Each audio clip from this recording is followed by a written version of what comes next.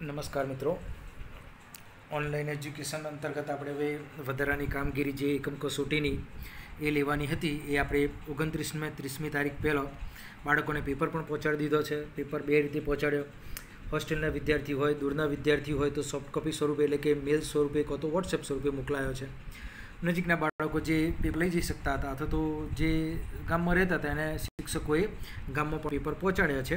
હવે એ લોકો તમને દસમી તારીખ પહેલો બધા બાળકો હાર્ડ કોપી સ્વરૂપે કાં તો સોફ્ટ કોપી સ્વરૂપે તમને એની આન્સર બુક મોકલાવશે.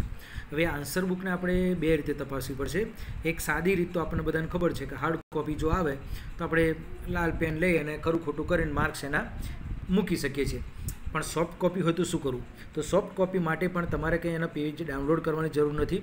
પોતાના ફોનમાં જે પેજ એ લોકોએ મોકલાયા છે, તેને સૌ પ્રથમ તમારા જુદા જુદા વોટ્સએપમાં ઈમેલમાં આવ્યો હોય, તો ગમે તે એક જગ્યાએ તેને સેવ કરી લો.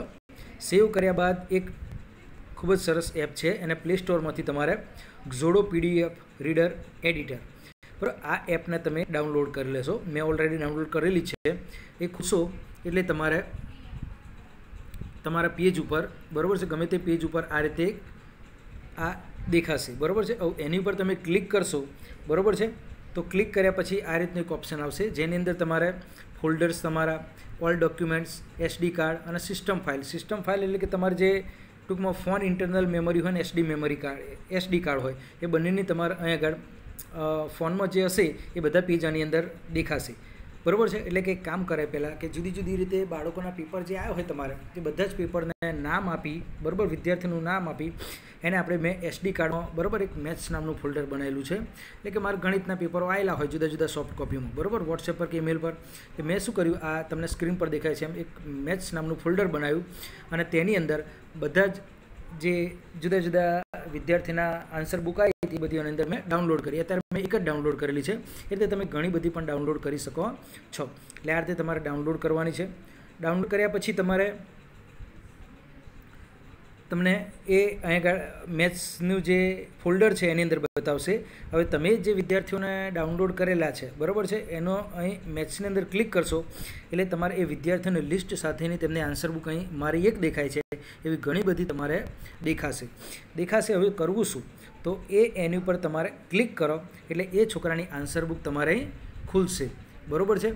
એ આન્સર બુક ખુલે પછી સાહેબ તપાસવાની કેવી રીતે? બરાબર છે? હવે અહીં આ રીતનું તમારે એની અંદર પેજ દેખાશે. બરાબર છે? મેં ઓલરેડી એક તપાસીને રાખ્યું હતું એટલે હવે આ રીતનું તમારે મેં કીધું એમ. બરાબર છે? એક આખું પેજ આની પર ક્લિક કરશો એટલે છોકરાનું તમારે અહીં પેપર નીકળ્યું. એવી તેની આન્સર બુક ધારો કે છ પેજની પાંચ પેજની દસ પેજની જે હોય, તમારા રીતે જોવા મળશે. હવે એને આપણે તપાસવાનું છે. તો કેવી રીતે ઓનલાઈન જ, બરાબર? એટલે કે ઓફલાઈન જ તમે તપાસી શકો છો. કારણ કે હવે તમે ડાઉનલોડ કરી દીધેલી છે. બરાબર છે? બધા પ્રશ્નપત્રોના જવાબો વિદ્યાર્થીઓના દસ વિદ્યાર્થી, પંદર કે સાઠ હોય. બધાને તમે, બધાને નામ સાથીને જે આન્સર બુક છે ડાઉનલોડ કરી દીધેલી છે. ત્યારબાદ આપણે ઘરે બેસીને જ હવે એ વારાફરતી મેં કીધું એમ, બાળક પરના આન્સર બુક ઉપર ક્લિક કરવાનું. એટલે આ રીતે એની આન્સર બુક ખુલી. એની ઉપર ક્લિક કરશો. એટલે જો સ્ક્રીન ઉપર તમને એક પેન્સિલની દિશાની દેખાય છે.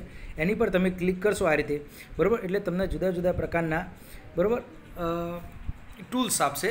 એ ટૂલ્સનો શું ઉપયોગ કરવો? તો મુખ્ય ટૂલ્સ આપણે જાણીએ એમ, એક પેન્સિલ જરૂર પડશે આપણને, બરાબર છે? એક ડિલિટેશન કદાચ ભૂલ પડે તો ડિલિટેશન કરવું પડે અને માર્ક આપવાની અને સાઇન કરવાની જરૂર પડશે. તો તેની અંદર તમારે જો પેનની નિશાની છે, એ પેનની નિશાની પર ક્લિક કરશો એટલે તમને જુદા જુદા કલરની પેન આપશે.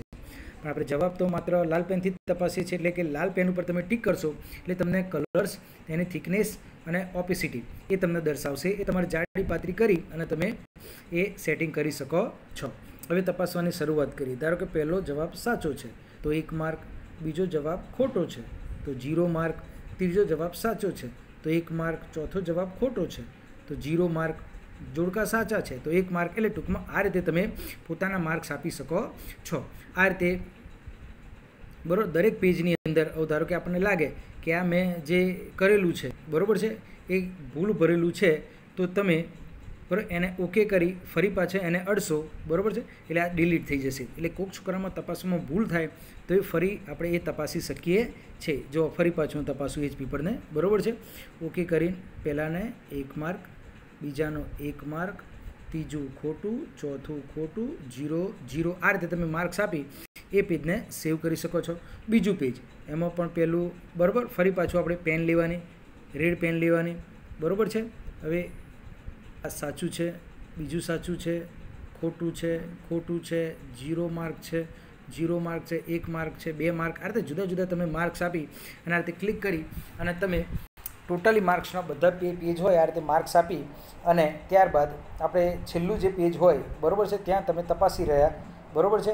હવે તપાસી રહ્યા પછી તમારે સાઇન કરવી હોય માર્ક આપવા હોય, બરાબર છે? મારે માર્ક આપવા છે, તે આગળથી ગણીને આવ્યો, તો મારે પચીસ માર્કનું આ પેપર છે. તો પચીસમાંથી તેના બાર માર્ક્સ આવે છે. જો આ રીતે તમે લખી શકો છો, બરાબર? એને ઓકે કરી દેવાનું. ત્યારબાદ તમને એમ થાય કે મારે સીલ લગાવવું છે એપ્રુવ કરવું છે ને, તો તમે જુદા જુદા પ્રકારના, બરાબર? જો તમને આ એટલે કે રબર સ્ટેમ્પ આપેલા છે, તેમાં ફાઇનલ કરી અને તમે આ ફાઇનલ કરી શકો છો. ત્યારબાદ તમને એમ થાય કે મારે સાઇન અંદરે મૂકવી છે. તો જો સાઇનની નિશાની છે, તમે અડશો એટલે ક્રિએટ સાઇન આવશે. ત્યાં તમે પોતાની આ રીતે જે સાઇન કરતા હોય, એ સાઇન કરી એડ કરશો એટલે તમારી સાઇન પણ ત્યાં આવી જશે. ઓકે એટલે આ રીતે તમે આખું પ્રશ્નપત્ર, જેટલા પેજ હોય બાળકનું પૂરું થાય, પછી આપણે રિવર્સ નીકળીશું. બરાબર છે? રિવર્સ નીકળી એટલે જો આ થઈ ગયું તમારે. ત્યારબાદ તમે બાળકને મોકલવા માગો છો, અર્થાત તો તેને શેર કરવા માગો છો. બરાબર છે? તો તમે શેરની નિશાની પર કરશો, એટલે ડોક્યુમેન્ટ સેવ એ થઈ જશે અને તમારે વોટ્સએપ કે ઈમેલ કરવું હોય, તો આ રીતે તમે ગમે તેને મોકલાવી શકો છો.